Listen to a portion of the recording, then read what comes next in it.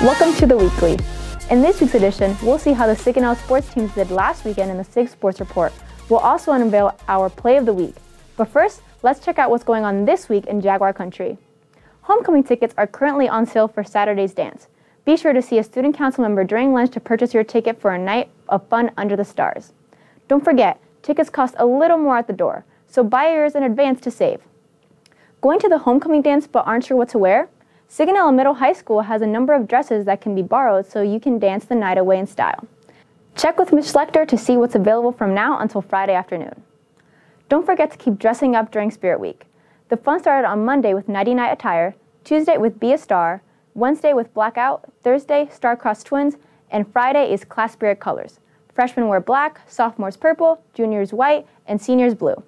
Middle school students, we didn't forget about you. Be sure to wear yellow and blue to the pep assembly this Friday. Looking to serve up some school spirit? You won't have to wait much longer to catch our teams in action. The volleyball teams will be playing at home this weekend with our girls team taking on Naples at 4 in the JAG, followed by the boys versus Naples at 5.30 and the girls again at 7 against Marymount.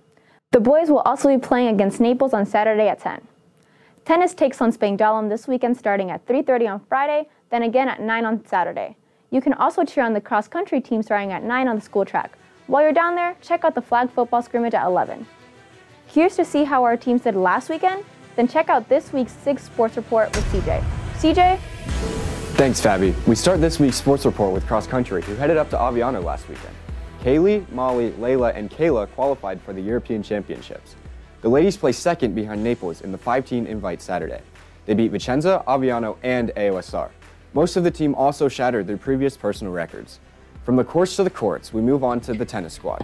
The boys team dropped their matches against Marymount, while the girls team went 2 and 1. Charlize won both her singles and doubles matches. The football team traveled north of the Alps to take on Spangdahlem. Although the Jaguars scored 33 points, it wasn't enough as the Sentinels overpowered the Jags for the win. Drake led the Jaguars offense with 83 yards rushing with two touchdowns and 47 yards passing while tossing two touchdowns. Jaden also had 47 yards rushing with three touchdowns and 45 yards receiving, including another touchdown. On defense, John led the squad with five tackles while Ricardo and Braden each had four. The Jag was the site of nearly seven hours of volleyball action this past weekend. In the first match, the girls defeated Bahrain 3-0 before taking on AOSR on the second match of the day.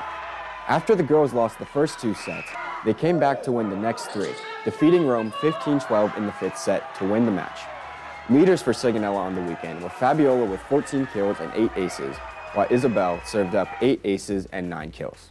The boys volleyball team also swept the weekend after topping Bahrain on Friday night. The boys took on AOSR Saturday afternoon. The Jaguars won the rematch of the last year's championship game, 3-0. CJ had 22 kills and Andrew added 13.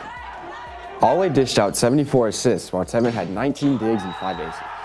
And our play of the week comes from the boys game against Bahrain. In volleyball, there's a rare play called the pancake. When a player places their hand flat on the court while the ball bounces off the top of the hand. This is only done in an emergency situation and is rarely pulled off. Tevin Mikolaj collaborated for the elusive double stack of pancakes, with two pancakes in a row.